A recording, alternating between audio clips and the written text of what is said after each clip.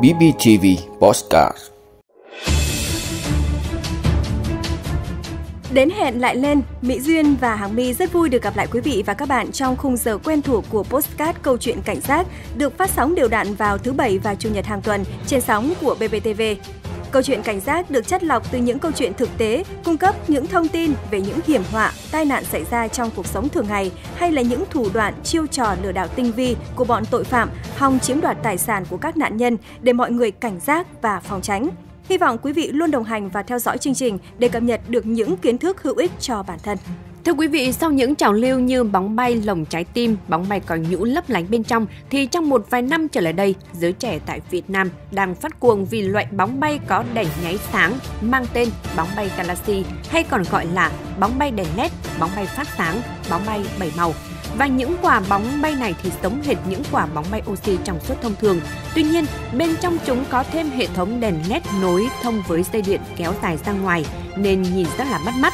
Loại bóng này đang trở thành món đồ chơi được nhiều người ưa thích mua về làm quà tặng hay vật dụng trang trí bởi màu sắc sặc sỡ và lung linh. Tuy nhiên thì ít ai biết mỗi quả bóng bay Galaxy đều tiềm ẩn mối nguy hiểm khó lường cho giới trẻ, đặc biệt là trẻ nhỏ nếu mà bất cẩn khi sử dụng. Thưa quý vị, bóng bay Galaxy có nguồn gốc từ chính Trung Quốc. Ở nước ta thì giới trẻ vô tư sử dụng chúng trong các đêm tiệc, các dịp lễ Tết, nó trở thành phụ kiện trang trí hấp dẫn. Nhiều trẻ nhỏ được cha mẹ đáp ứng nhu cầu vì coi nó như là một đồ chơi thông thường.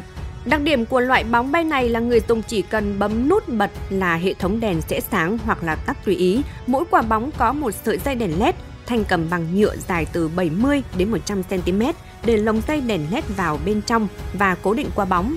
Dưới cán cầm thì có công tắc hoạt động bằng pin để người chơi bấm nút bật tắt đèn. Không chỉ được bày bán tại các cửa hàng, bóng bay Galaxy còn là một mặt hàng bán khá chạy trên mạng. Vâng, thưa quý vị, chỉ với một vài từ khóa đơn giản nhập vào công cụ tìm kiếm trên Google hay là Facebook, không đến một phút sẽ cho ra hàng loạt các trang bán bóng bay Galaxy hiện ra. Tại các kênh bán hàng trực tuyến như là Lazada, Sendor hay là Shopee, khách hàng cũng có thể dễ dàng đặt mua loại bóng này chỉ sau vài thao tác. Giá cả cũng có sự chênh lệch rất lớn, tuy nhiên thì thường dao động từ 50 cho đến 100 ngàn đồng. Mặc dù đắt là vậy, nhưng vào những dịp lễ hay là Tết thì nhiều cửa hàng vẫn không đủ hàng để bán. À, vâng thưa quý vị, theo chủ một shop bán bóng bay Galaxy Online, sở dĩ bóng bay Galaxy hot như vậy là do đây là mặt hàng mới, hiệu ứng ánh sáng từ dàn đèn LED nhỏ lại cực kỳ bắt mắt. Bóng có hai loại, một loại 18 inch khoảng 47 cm và một loại 24 inch 60 cm với nhiều màu sắc như là trắng, hồng, vàng tím, Loại 18 inch thì bán chạy hơn. Thời gian phát sáng của bóng bay Galaxy là khá dài, có thể bật liên tục trong vòng 20 ngày. Với giá cả như vậy là không hề đắt. Loại pin được sử dụng thường là pin tiểu hoặc là pin cúc, nên khi hết pin thì người mua có thể dễ dàng thay pin mới. Vâng và thật không khó để bắt gặp các quả bóng bay phát sáng với cực kỳ lung linh và đẹp của các bạn trẻ cầm để mà chụp hình, tự sướng, hòa mình cùng với ánh đèn đường ngay tại các khu phố vui chơi giải trí trong các dịp lễ Tết các bạn trẻ thì thi nhau chụp hình selfie cùng bóng bay đèn LED lung linh trong đêm. Nhưng mà khi được hỏi về sự an toàn khi chơi bóng bay đèn LED thì hầu hết không một bạn trẻ nào có thể trả lời được. Vâng thưa quý vị, ẩn sau sự lung linh và bắt mắt ấy là mối nguy hiểm xuất phát từ việc bơm khí vào trong quả bóng. Qua tìm hiểu của chúng tôi, để những quả bóng có thể bay lơ lửng được trong không trung, thông thường người bán sẽ bơm vào bóng khí hydro hoặc là heli. Trong khi khí heli được cho là an toàn với nhiệt độ thì khí hydro khi gặp nhiệt độ cao sẽ lập tức phát nổ.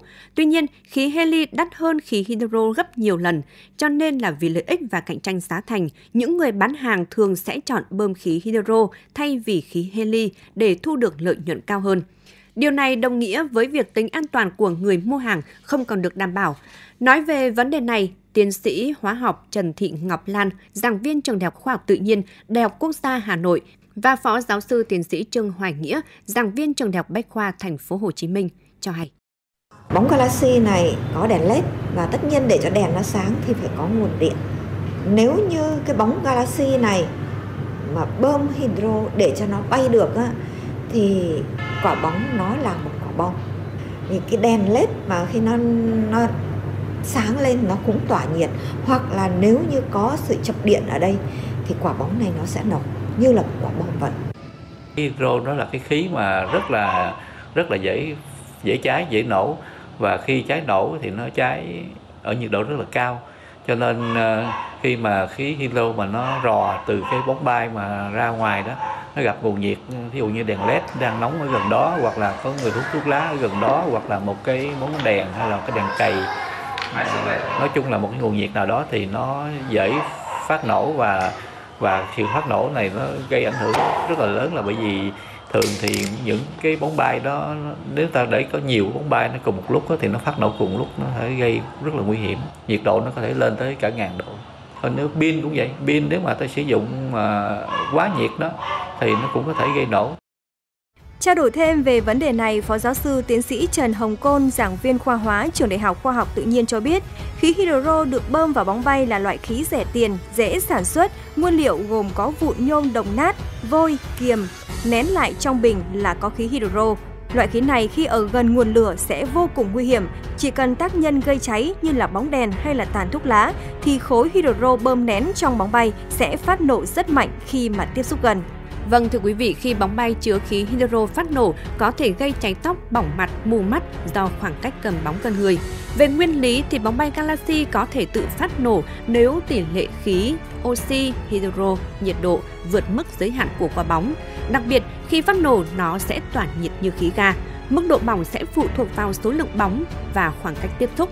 Thông thường số lượng bóng càng lớn thì diện tích bỏng sẽ rộng.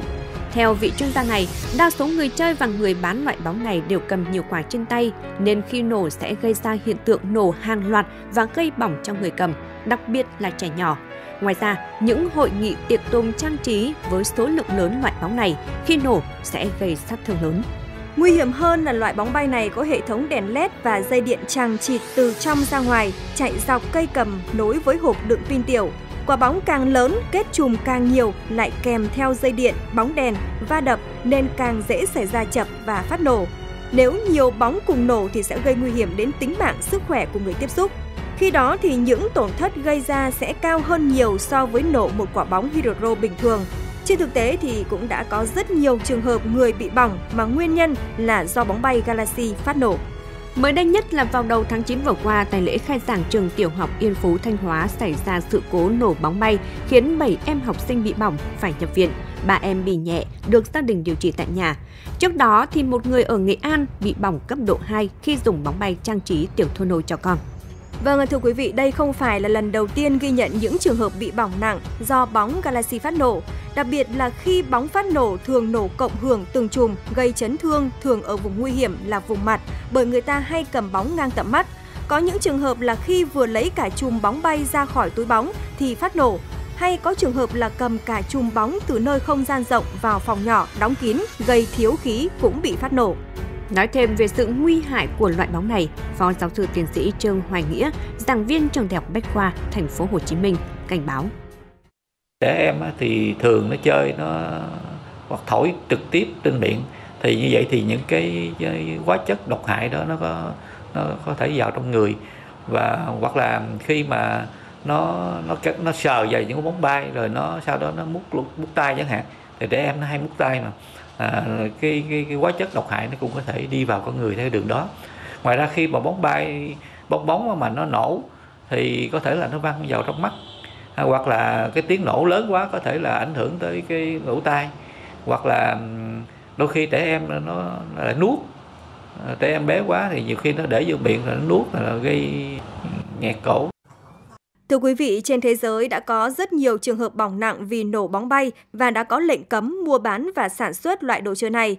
Tuy nhiên thì ở Việt Nam chúng ta, dù đã có những trường hợp nổ bóng Galaxy gây cháy bỏng, nhưng những trái bóng này vẫn được bày bán công khai mà không có cơ quan nào quản lý hay là thẩm định chất lượng. Vâng, dễ mua, nhiều mức giá khác nhau, nhưng mất an toàn nên sản phẩm này đã và đang bị một số địa phương cấm bán và sử dụng. Tuy nhiên, đa số người bán hàng rong vẫn cố tình bán bóng bay và bóng phát sáng, nên lực lượng chức năng vẫn gặp khó khăn trong công tác xử lý. Khi thấy bóng dáng, lực lượng chức năng là họ liền bỏ chạy. Do đó, rất cần có quy định thống nhất về việc cấm bán bóng phát sáng có bơm khí hydro đồng loạt ở các địa phương, đồng thời nâng chế tài xử phạt để hành vi không tái diễn, giảm nguy cơ ảnh hưởng đến sức khỏe của người dân. Thưa quý vị, không phải bóng galaxy nào cũng nguy hiểm. Trường hợp những người bán không sử dụng những bình khí để bơm bóng mà chỉ dùng những công cụ bơm thô sơ như là bơm tay hay là bơm chân và khi ra thành phẩm thì bóng không bay lên được thì những quả bóng đó vẫn đảm bảo an toàn. Thế nhưng hiện nay vẫn còn tình trạng nhiều nơi bơm sẵn bóng từ nơi khác không cung cấp được những thông tin về nguồn gốc cũng như là cấu tạo của bóng. Do đó, người tiêu dùng cần phải hết sức cẩn trọng khi mà sử dụng loại thú vui này, đặc biệt là với trẻ nhỏ. Còn các chuyên gia khuyến cáo là để đảm bảo an toàn, cha mẹ không nên cho trẻ chơi bóng bay bơm khí hydro, đồng thời không nên mua bóng bay với số lượng lớn để trang trí sự kiện hay những bữa tiệc sinh nhật trong nhà. Nếu cho con chơi gần bóng bay thì cần chú ý thường xuyên quan sát trẻ, tránh những hậu quả đáng tiếc. Nếu chẳng may có người bị bỏng do nổ bóng bay thì người dân nên nắm rõ những nguyên tắc khi sơ cứu cho nạn nhân như sau. Trước tiên, nhặt hết vụn bóng trên người, cởi bỏ quần áo nếu khu vực che phủ bị tổn thương, sau đó nhanh chóng ngâm khu vực bị bỏng vào nước lạnh khoảng 15 cho đến 20 phút, có thể dùng vòi nước xối rửa ngay tại vị trí vết bỏng. Tuyệt đối không được dùng kem đánh răng hay là mỡ chăn để bôi lên vết bỏng. Tiếp theo, cuốn lên vết thương bằng cảm y tế mỏng để tránh nhiễm trùng. Không được cố gắng kéo các vết bỏng ra sẽ càng làm vết bỏng sâu hơn. Cần nhanh chóng đưa bệnh nhân đến cơ sở y tế gần nhất để được cấp cứu kịp thời. Vâng thưa quý vị, yêu thích những thú vui mới lạ là điều rất bình thường, nhưng dùng một khoản tiền không nhỏ để đổi lấy một vật dụng giải trí tiềm ẩn nhiều nguy hiểm quả là không nên. Mọi người, nhất là các bậc phụ huynh, cần phải hết sức cảnh giác với những quả bóng tử thần để con em mình không phải tiền mất tật mang. Đến đây thì thời lượng của chương trình cũng đã hết. Cảm ơn quý vị và các bạn đã quan tâm theo dõi. Xin kính chào và hẹn gặp lại.